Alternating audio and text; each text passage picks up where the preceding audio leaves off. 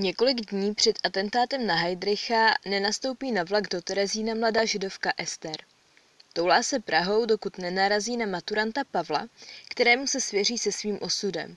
Mládenec se projeví jako muž činu a schová v komůrce za otcovou dílnou, kam Ester pravidelně nosí jídlo. Postupně se zbližují, plánují společnou budoucnost, ale pro Ester je to v úkrytu čím dál obtížnější. Pavel má starosti se zásobováním a navíc lidem bez povolení pobytu hrozí smrt. Co když poprava čeká Pavla i jeho rodiče? Ester nakonec z úkrytu utíká. Shodou okolností ve stejný den, kdy se okolní kostela svatého Bartoloměje hemží jednotkami SS, které mají za úkol chytit atentátníky. A Ester přijde o život jakoby náhodou.